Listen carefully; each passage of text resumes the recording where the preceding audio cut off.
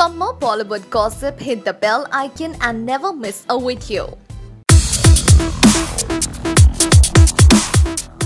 Saaho starring the Bahubali hero Prabhas has got its first antagonist and it's none other than our Lafange Parinde hottie Neil Nitin Mukesh.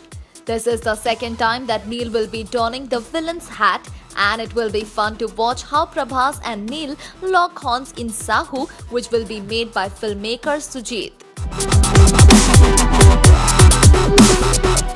The film will be dubbed in Tamil, Hindi and Malayalam and it will be interesting to watch Prabhas in action once more.